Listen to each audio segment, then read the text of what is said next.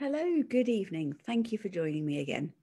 So, this evening, I would like to introduce you to a friend of mine, uh, Olivia. Th- this over here is um, Olivia the orchid.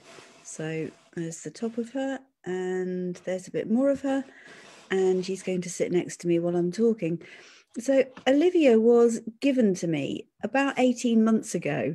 And when she was given to me, two thoughts went through my head. Thought number one was, wow, that's beautiful. She will look lovely in my study. I will enjoy having her there. And the second thought was, but she won't last long. I am so good at killing houseplants. And that is true. I have lost track of the number of houseplants I have killed over the years, usually, I admit, through total neglect. And I thought, if I can't even keep something like a busy Lizzie alive, what hope do I have with an exotic plant like an orchid? But as you can see, Olivia is doing okay. Regularly in the last 18 months, Olivia has produced flowers. The flowers have stayed and been beautiful for quite a long time, and then they have died away. The first time it happened, I was a bit nervous. Had I actually managed to finish off yet another house plant?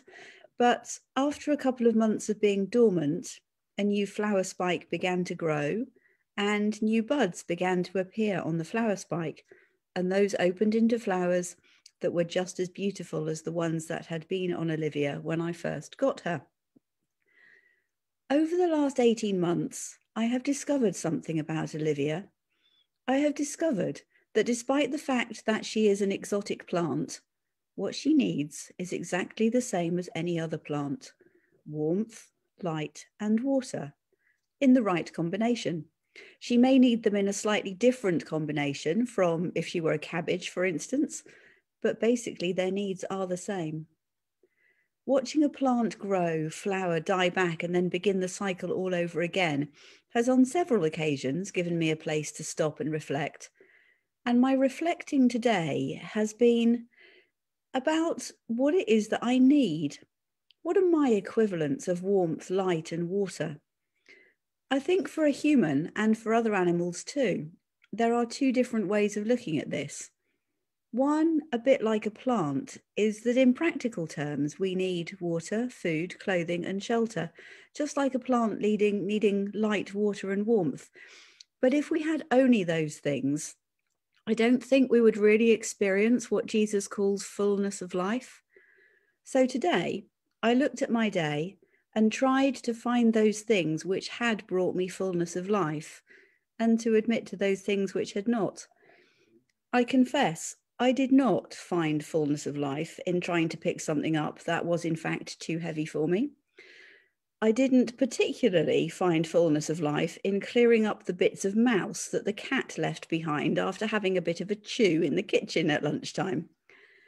But I did find fullness of life in connecting with other people, both those that I live with and those that I've met on screen or through emails. I definitely found fullness of life shoveling compost around my garden. And although she may not believe it, I did find fullness of life in helping a friend with something via a video call. And I did find fullness of life in simply being quiet, sitting in the presence of what I would call God with a cat on my lap. I am not entirely certain whether Olivia the orchid knows whether she is experiencing fullness of life or not, but we do. And I think it's really important that we identify what it is that brings us fullness of life and make sure that we get some of it, especially now. So, as ever, I'm going to finish off with a prayer.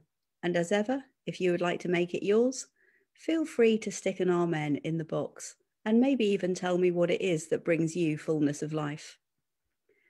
Father God, help us to work out what it is that brings us fullness of life, and to work out ways that even with the restricted life we are living at the moment, that we can connect with those things.